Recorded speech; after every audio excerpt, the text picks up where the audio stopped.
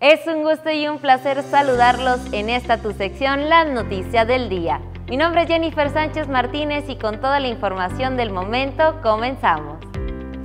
Y empezando con prohibiciones en la venta de bebidas alcohólicas en Acuña, el alcalde Emilio de Hoyos ha anunciado que se tomarán las medidas necesarias para hacer cumplir la ley seca, emitido por la Secretaría de Gobierno del Estado de Coahuila. El objetivo de esta medida es garantizar un ambiente de tranquilidad y seguridad durante las elecciones que se llevarán a cabo el 4 de junio. Y en nuestra capital se suspende la ruta recreativa el domingo 4 de junio.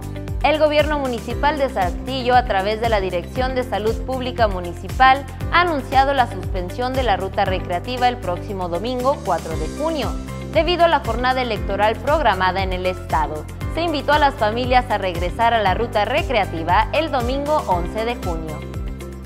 Por otro lado, la educación es fundamental para un mejor Torreón. El Ayuntamiento de Torreón, a través del alcalde Román Alberto Cepeda González y el gobernador Miguel Ángel Riquelme Solís, encabezaron un acto cívico y honores a la bandera en la escuela primaria Agustín Melgar. El gobernador agradeció el esfuerzo conjunto para mejorar la infraestructura educativa y Protección Civil de Moncloa durante el fin de semana pasado tuvo una intensa actividad debido a las fuertes ráfagas de viento y lluvias que azotaron a la ciudad.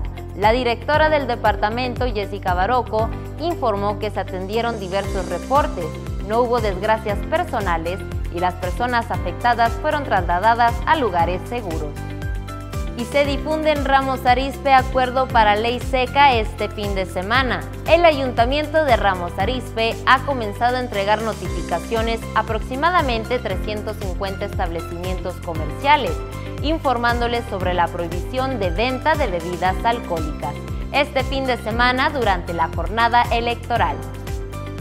Y el gobierno del estado garantizará el derecho a votar de las y los ciudadanos el gobernador Miguel Ángel Riquelme Solís, liderando la reunión del Subcomité Técnico Regional COVID-19 Laguna, destacó la disposición del Estado para garantizar que todos los ciudadanos de Coahuila puedan ejercer su voto en cualquier lugar y en todas las casillas instaladas en el Estado.